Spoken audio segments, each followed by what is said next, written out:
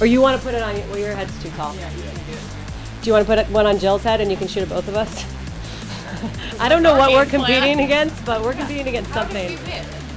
I'm just gonna watch me win. Just watch me win. All right, let's go. Here we go, Nikola. Jill, some people are just better at this game than others.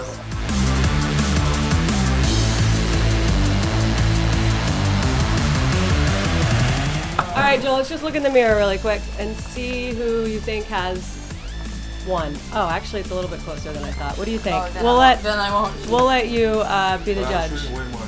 So, so high five. So you know what? Sometimes you just gotta win, and some you gotta have a winner and a loser, and that's just how the game works. So Jill,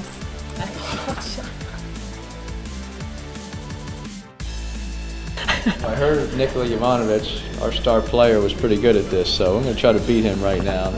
see what you got, Coach. Oh. Oh, see, spin. It's all about the finish. The good thing is Nikola's actually playing for us. My playing days are over, as you can see. That was pretty pathetic. Coach, that was amazing. You finished strong, which was the most important part.